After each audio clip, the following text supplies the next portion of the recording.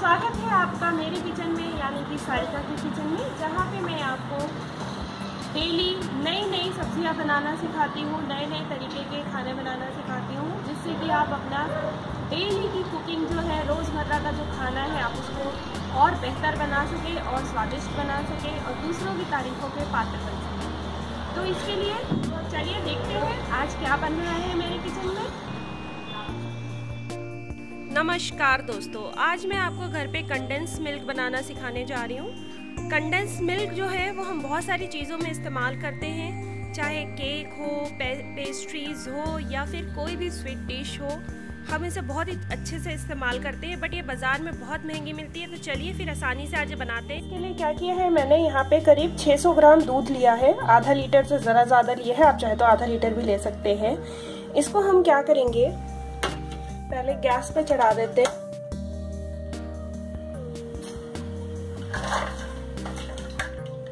और साथ ही हम यहाँ पे ऐड करेंगे वन कप शुगर पहले भी शुगर हमने इसमें ऐड कर दी है और अब हम इन दोनों को ऐसे चलाते हुए गाढ़ा कर लेंगे।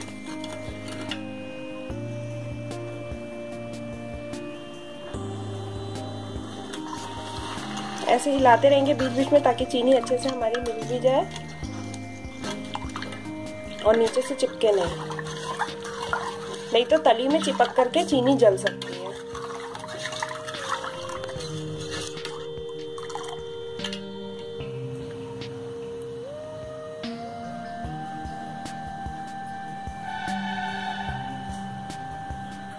ऐसे ही इसे चलाते हुए हम बीच बीच में चलाते जाएँगे और ऐसे ही दूध को हम गाढ़ा कर लेंगे। कितना गाढ़ा करना है मैं आपको बता देती हूँ कि 500 का 200 रह जाए।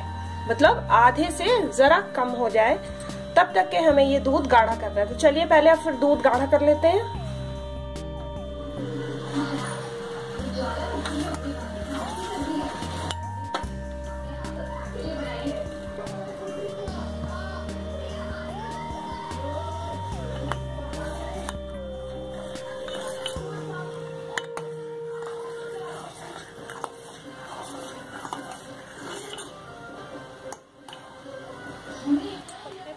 गाढ़ा हो चुका है। ये हमारा काफ़ी कम हो चुका है।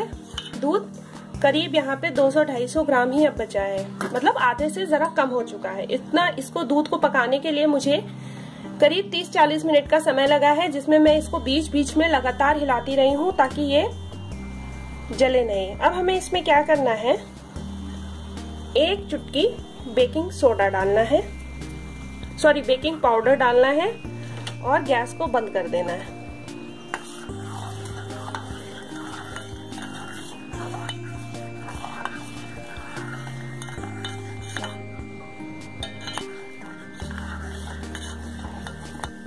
इसको एक बार अच्छे से मिक्स कर लेते हैं। बेकिंग पाउडर डाला है मैंने यहाँ पे।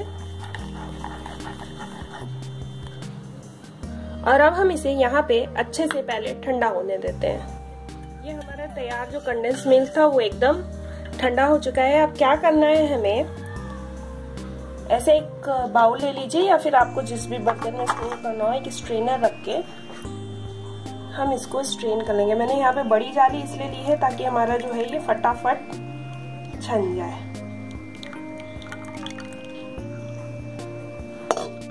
चलिए, इसे हम फटाफट छान लेते हैं फिर। ये देखिए, हमारा कंडेंस्ड मिल्क घर पर प्योर मिल्क के साथ प्योर दूध के साथ बन करके तैयार है। इसको बनाने में मुझे आधा से पौन घंटे का समय लगा है। लेकिन ये आपके घर में शुद्ध बन करके तैयार है। आप इसे अब चाहे तो केक बनाए, चाहे कोई भी अपनी डेजर्ट बनाए, लड्डू, खीर, कुछ भी बनाए आप, उसमें ये बहुत ही अच्छा लगेगा। और मैं आपको इसको एक बार कंसिस्टेंसी भी दिखा देती हूँ इसकी। ये देखिए। है ना अच्छा? तो चलिए फिर, आज भी आप भी अपने घर पे इसे बनाइए और मुझे बताइए कि आपको कैसा लगा। धन्यवाद। आपको आज की मेरी ये रेसिपी मुझे ज़रूर बताइए। नीचे कमेंट बॉक्स में कमेंट करिए और अपने विचार मेरे लिए ज़रूर छोड़िए कि आपको ये रेसिपी कैसे लगी। क्या आप चाहते हैं कि मैं और भी वीडियोज़ इस तरीके की आपके लिए पोस्ट करूँ या फिर ना करूँ? आपका सपोर्ट मेरे लिए बहुत ज़रूरी है। इसलिए आप प्लीज़ मेरे चैनल को लाइक और सब्सक्राइब कीजिए और अच्छा लगे तो शेयर भी ज़रूर